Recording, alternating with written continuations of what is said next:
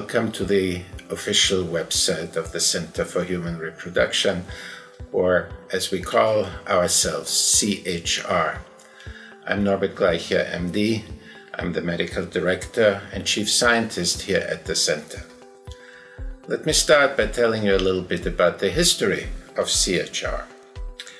Uh, we were founded in 1981 in Chicago and for many years uh, were only in Chicago.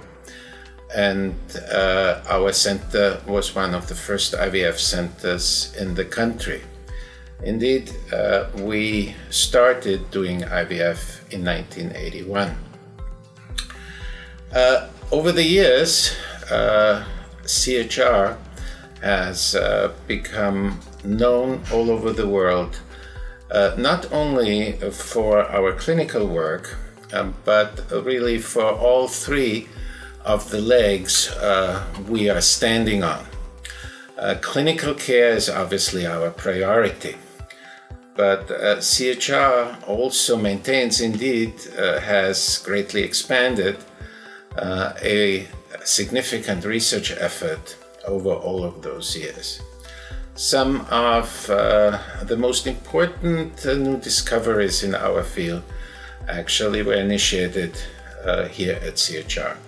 So, for example, CHR uh, was the first IVF center ever to do a vaginal egg retrieval until we reported uh, that one can retrieve eggs through the vagina. Uh, those were surgical procedures done in the operating room with laparoscopy. CHR was also the first to do transvaginal tubal catheterizations, now widely used all over the world. CHR brought androgen treatment into infertility. You may have heard about DHEA uh, use in older women or women with low ovarian reserve. All of that started here at CHR and many, many other things in, in addition to that. Uh, the third leg we are standing on is education.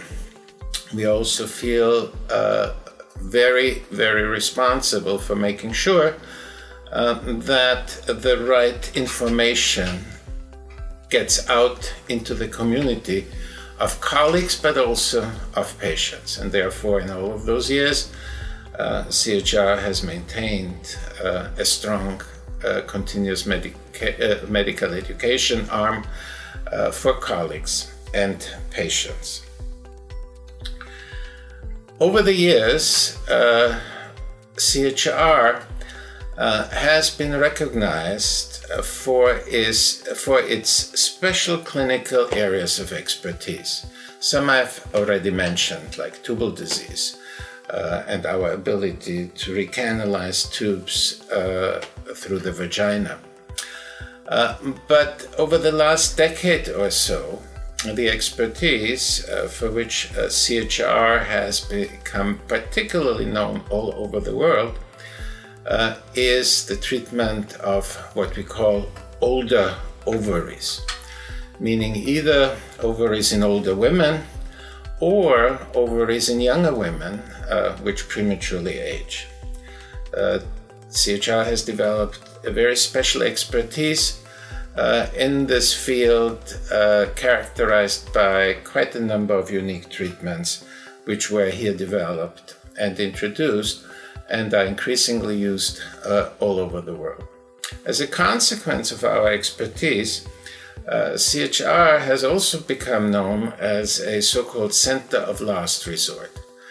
Uh, we therefore uh, today see uh, in a majority, in a large majority indeed, uh, patients uh, who have previously failed IVF cycles, often uh, quite a number of them and in quite a number of different IVF centers. And yet, uh, if you look at CHR's outcomes, despite such an adverse patient selection, uh, you will see that uh, the, the outcomes we are reporting, like other IVF centers, to the CDC and SART are pretty exceptional. So, being a center of last resort uh, results in certain additional responsibilities. For example, uh, many IVF centers uh, do not offer patients treatments after certain ages. Uh, in general, most IVF centers will pretty automatically recommend egg donation to patients after age 42, certainly after age 43. Egg donation is a wonderful treatment, and we are offering here at CHR probably the largest egg donor pool you will find at any IVF center uh, in the country, if not in the world, representing all ethnic backgrounds, all races, whatever you can just imagine. Yet at the same time, we here at CHR have a very different philosophy about the use of donor eggs. We very strongly believe that egg donation is a wonderful treatment, but only as a last resort. In other words, uh, we are not sending patients uh, into egg donation until we are really absolutely convinced that they have no chance with use of their own eggs. And in the end, it is always you, the patient, who makes the decision which treatment uh, you will pursue at our center or elsewhere. Indeed, we do not see it as our responsibility to tell you, the patient, how to live your life. We do see it, however, as our responsibility to tell you what exactly all of your options are, and then to be brutally honest, and, and I re emphasize the term brutally honest, in what your chances are with those various options. And then it is up to you, the patient, to decide which way you want to go.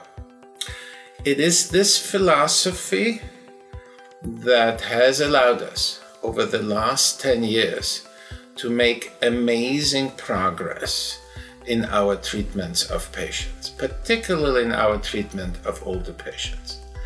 We were incredibly excited uh, just a few weeks ago to be able to report the birth of a child to a woman who is probably the oldest woman uh, ever to give birth with use of her own eggs anywhere in the world. This patient was just two months short of age 48 when we transferred her embryos, and yet she delivered a healthy baby. So this shows the progress we have made because maybe even as, as, as recently as five to six or seven years ago, even our center would not have been able to help women above age 43.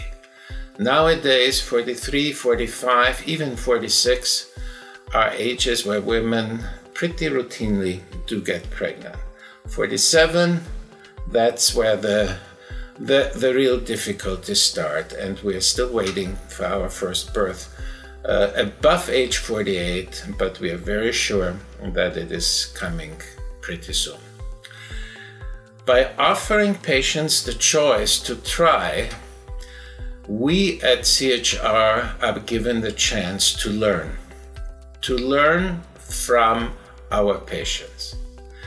Most of the innovations that I have mentioned briefly before came from patients. We therefore always listen very carefully to what our patients are telling us, and we are incredibly grateful for the opportunity to be able to try to help them in new ways, entering previously uncharted territories. With this brief introduction, uh, I hope uh, I have given you a, a, starting idea about our center. We invite you to contact us, we invite you to visit us, and I'm looking forward to meeting you in person.